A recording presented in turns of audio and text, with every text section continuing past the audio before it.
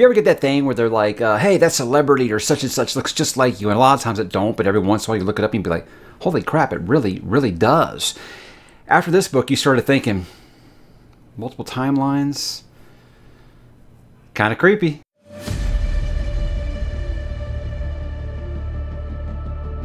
It's terrifying when you consider that every thought that we have, every choice that we could possibly make, branches off into a new world.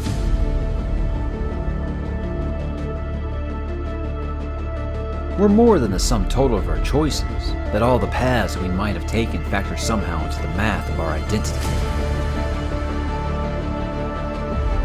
But no one tells you that it's all about the change, that it's all about to be taken away.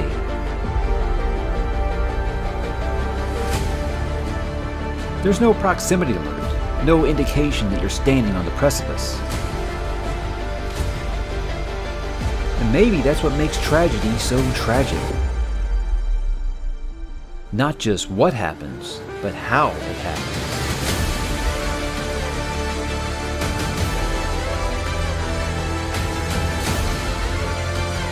A sucker punch that comes at you from out of nowhere when you're least expecting it. No time to flinch or brace. If you strip away all the trappings of personality and lifestyle, what are the core components that make me, me?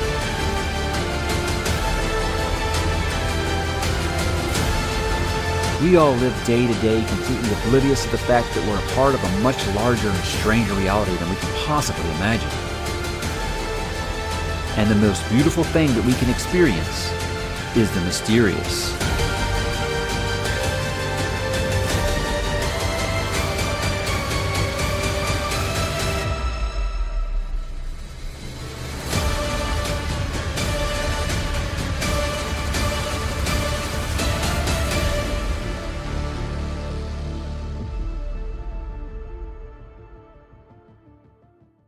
Hey, what's up, bookworms and quantum physicists? Mike back today to talk a little Blake Crouch, and today we're dipping into the 2016 sci fi thriller novel Dark Matter by Blake Crouch, the first Blake Crouch book that I have read. Now, Blake Crouch uh, really became known during his uh, Wayward Pines trilogy got really successful. They even made a television adaptation of it. And that's when he first got on my radar. But it wasn't until I heard about this book that I said, okay, that sounds pretty cool. And this is when he started getting the Michael Crichton comparisons. And uh, yeah, like I said, this is when I first heard about him was through a lot of fellow Michael Crichton fans. Now, you would think right away, okay, that's that's putting the expectations kind of high. Now, look, in case you guys don't know this, first time you find the channel or something, Michael Crichton is my second favorite of author of all time.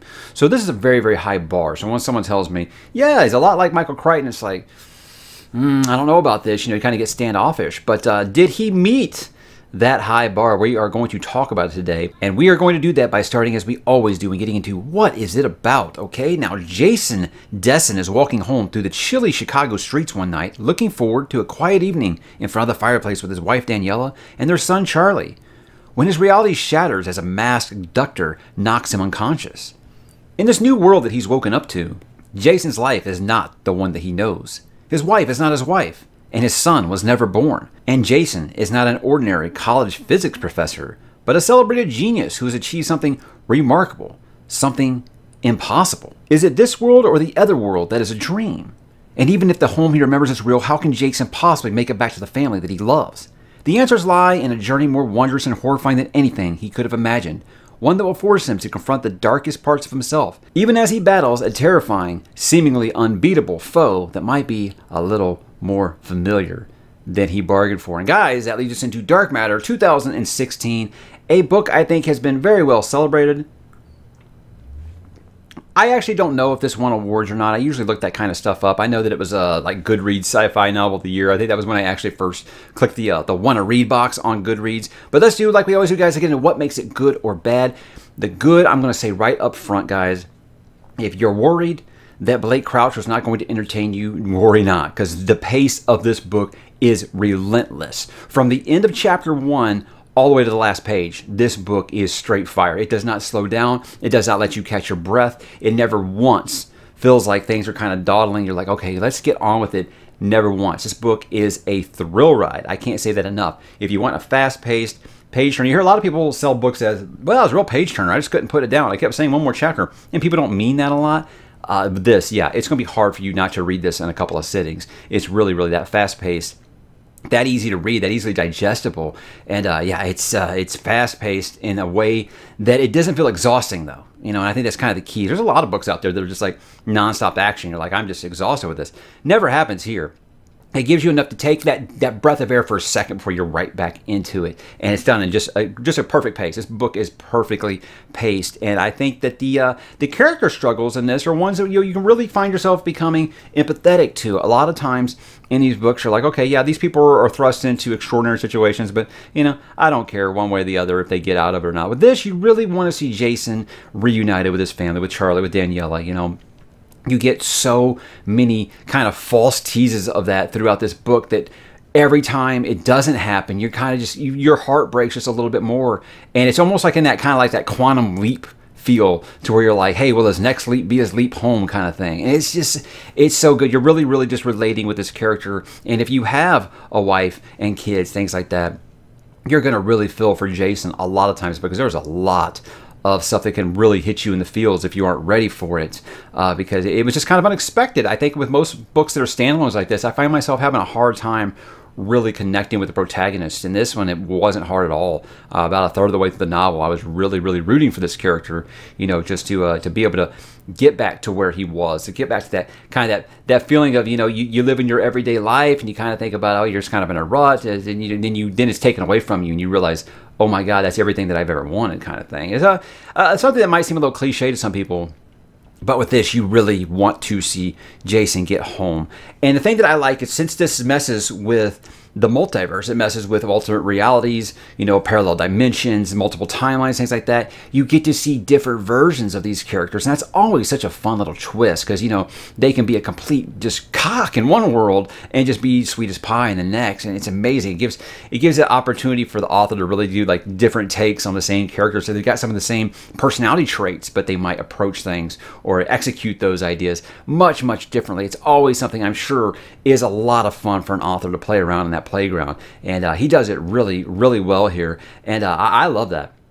I love that. I love getting like this. It's something that Stephen King has done with his, uh, you know, multiple paths of the beam kind of thing, getting different versions of characters, and you're just kind of being like, wow, what happened to you in this world that you're so different from the one in my world? You know, it's it's such a, a such a neat idea to play with, and uh, yeah, the science will really start to, to warp your mind a little bit. I'll get to that in a second here. But, uh, you know, when you're dealing with alternate realities, parallel dimensions, things like that, you get to play with several genres. And I think that this book has a lot of them. It's kind of like what I said about Hyperion last week, in that because of the narrative structure, you got to have so many different kind of genres. You have to look, this is a sci-fi thriller above all else because you are dealing with stuff that um, if we are able to do right now, we don't know about it, right? Uh, so you got the science fiction in here, but uh, you know you got your action adventure, you got your sci-fi thriller, you got your contagion outbreak, you got your post-apocalypse, you got your painful, heartfelt drama, all that stuff crammed inside a 350-page book. And I think that's what kind of helps it feel fast paced and never gets stale because uh, each one of these uh, new timelines that you're visiting, you're feeling like it's a different, a different story but again, you're keeping that main theme of I want to see this character get home. You know, it's it's uh, it's handled in such a, a nice way, and that's going to bring me into the science here, guys. I think Blake Crouch, obviously, I don't know his credentials like I knew Michael Crichton. You know, Michael Crichton was an actual doctor who never practiced, so you know he always tried to put so much science into his books. And what Michael Crichton did so great is that he put science in a way that everyone can understand it. And Blake Crouch does that here. You're dealing with ideas of, of quantum mechanics and Schrodinger's cat and things like that. And he's making it make sense to you without you needing, you know, a PhD in astrophysics before you read this book to understand it. And that's not that that was something that only Michael Crichton was able to do, because you get a lot of authors who do that, and they admit they had no idea what they're talking about. This felt like he did his homework enough to make it simple enough for you. Now, I don't know what Blake Crouch's background is in science, if he's actually into this stuff or if he's just a really big fan of writing science fiction. I don't know. But to me, it was the first time I felt like since a Crichton book that someone was explaining something that was heavy science to me, but making it in a way where you know a dummy like me could understand it. You know, I don't have a PhD. I don't. I don't use my seven PhDs. You know, to to read these books. So that's uh that's something that uh, I can see now why the Crichton fans really have recommended this to me. The idea just of, of parallel realities, uh, you know, things like that will really just start to warp your mind a little bit. I took astrophysics in college and we got into things like string theory. And when you start thinking about it, it almost like scares you just to think about. And this book gets to the scary side of that, you know, multiple versions of yourself, versions of yourself that are almost exactly the same, except for one little tiny fraction of something that you may have done differently in a different timeline. And it changes everything. You know, not quite like the butterfly effect, but just like, say, instead of uh, you know turning left this day you turned right and you got into a major car accident and then you're crippled or you you turn left instead of turning right and you know what you never met your wife so it changes everything just based off of one decision and it plays around with that in such a great way but again guys this book has zero fluff in it this is a tight 350 page thrill ride. You're going to have a blast with it. Now let's get into some of the bad things here, guys. There are a couple of bad things here. Uh, it's kind of short. Uh, I mean, look at this. Like I said, 350 pages. It's a great standalone. Don't get me wrong. But this is kind of one of those things you're like, that could have been another 100 pages and I'd been fine. I don't know if that would have made it feel a little stale. I, I don't know. I don't know. I, it's, it's, I, when the book was ending, I was like, I don't want it to end. You know, it kind of felt like when I was doing Later by Stephen King most recently, where I was like, this is brilliant and I don't want it to end. Same thing kind of happened with this one. So, you know, I'm nitpicking to find some bad with a book when I'm just saying that it wasn't long enough. uh, but uh, it's not the first time that this storytelling technique, dealing with alternate realities, different versions of yourself, like that. Obviously, this isn't reinventing the wheel here. It's something multiple authors have done. But again, I don't think that that means it should be out of bounds for any other author out there. But uh, again, if you're looking at this to be like, okay, this is so incredibly original, nobody's ever done this before, you might find that, uh, uh, you know, a mark against. For me, that's a, a, storytelling technique that I love. I love. Give me that. Give me the multiple versions of yourself that you're dealing with and things like that. I love it. Keep giving me more of that. But that's something that you feel like, nah, I've, I've heard that done too many times already. Yeah, this might not click for you quite as well. And then there's the ending. The ending in a book like this is always going to be divisive. It really is. I was quite happy with it. Uh, it was one of those kind of where the character has to make a really tough decision, you know, and uh, all the characters involved have to make a tough decision, and you may agree with it, you may not. I think it's about the best thing that he could have done in this, and I feel like it leaves it open for more. And I would love for him to revisit this story because I think there's plenty of room for a sequel here. I won't call it like a cliffhanger per se, but it definitely doesn't have like that final feel to it. So that might be something you frown upon. Me, again, I liked it. It left it open, but it felt closed enough that I was satisfied.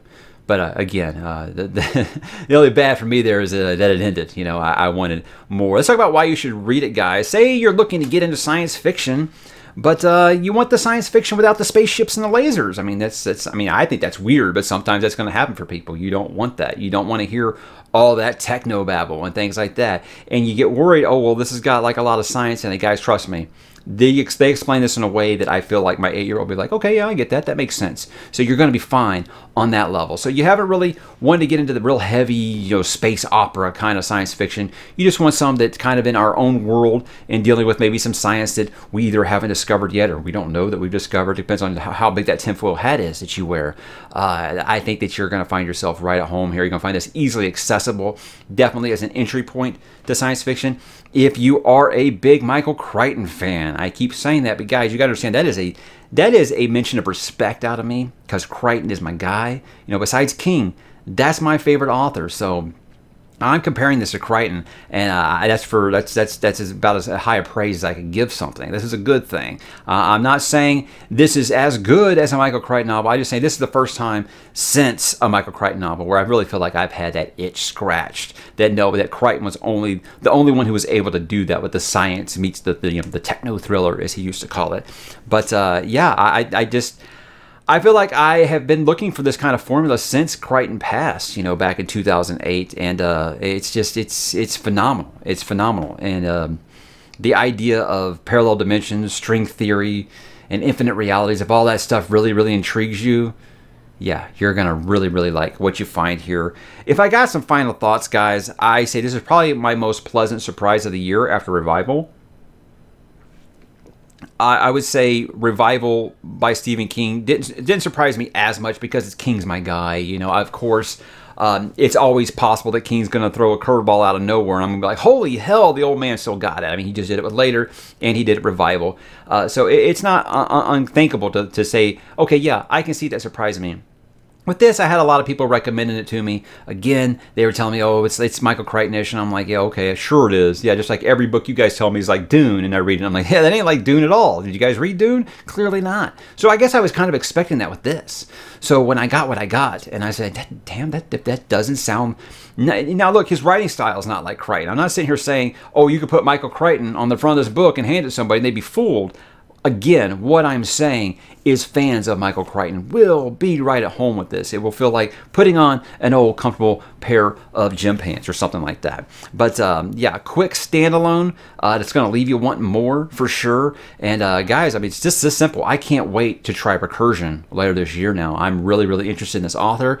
Uh, I've heard some people say that they felt like Recursion was kind of um, redundant of this book. Now, I don't know what that means. I don't know if necessarily they're saying it's just the exact same story uh, told from a different point of view or what or if we're just dealing with like time travel or things. I don't know. I don't know. I'm going to find out what it means. But it always seemed like before I did this, people either love recursion and didn't like dark matter, or they love dark matter and didn't care for recursion. So I'm interested to see, even though they're standalones, I'm interested to see what the differences are here. And if I love that, then I'm going to go back to Wayward Pines, which I just bought on digital after I read this book because I was like, I think this is going to be an author that I really, really dig and I want to read more from. So, guys, um, look, I, I know I gushed recently about Hyperion, and I, I was pretty sure that was going to be a layup for my book of the month for the month of April. Uh, it's it's it's going to be close because uh, look, I think that Hyperion is an all timer. That's an all time science fiction novel for sure and this is very different, but I had such a good time with this. It's a it's it's feeling like a one A one B